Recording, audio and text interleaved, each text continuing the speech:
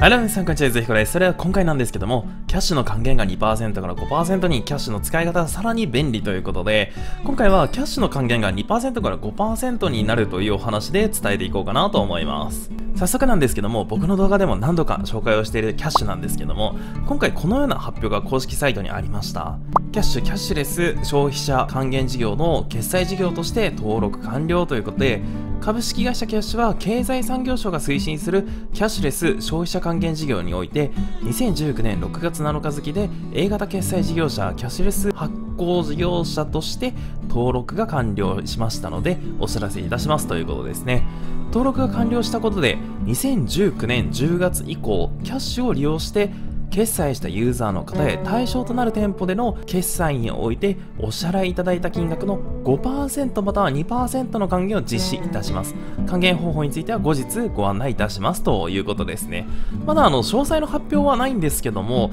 タイミングとしたらまあ増税のタイミング2019年の10月以降で行われるという感じですね。であの先ほど出てきたこのキャッシュレス消費者還元事業というのですが、まあ、こちらについても公式にちょっと続きがありましてキャッシュレス消費者還元事業についてということで、経済産業省が主導するキャッシュレス化推進施策です。2019年10月1日の消費者税率引き上げに伴い、需要平準化対策として消費税率の引き上げ後の9ヶ月間、2019年10月から2020年6月末までに限りキャッシュレス決済にて還元を行う事業ですということですね。もしこれが実現すればですね例えばあの折り紙ペ常に3%の割引というか割引がされればキャッシュの5%と組み合わせることができればですね、まあ、常に8%お得な状態でお買い物ができるということになると思うんですよ。そこにさらにキャッシュにクレジットカードとか紐付きができればまあ30でお得ということになりますね。まあ、あの、オリガインペイのキャンペーンがいつまでその3%のキャンペーンというのがいつまでやってるかっていうのは分かんないんですけども、